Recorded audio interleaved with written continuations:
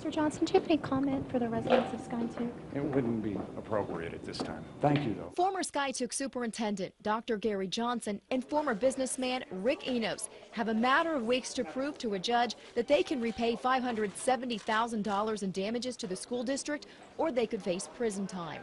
An audit shows that over a four-year period during Johnson's direction, the district bought more than $800,000 in janitorial supplies and security equipment from businesses owned by Enos.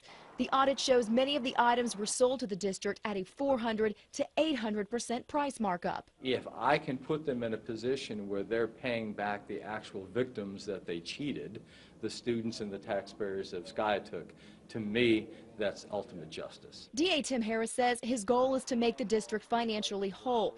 But he says if Johnson and Enos can't prove to a judge that they have the resources to do that, prison is the only option. And if restitution can't be paid, then I'm not taking it into consideration regarding your sentencing. Well, if restitution can't be paid, then people are going to the penitentiary. Skiatook resident Linda Loftus served on the school board following the bribery scandal. She too hopes the defendants will be able to repay the district. because I know the time spent in prison will never pay back our children and our taxpayers, and I think it's important that we get this taken care of. And May 2nd, I can't wait to be back.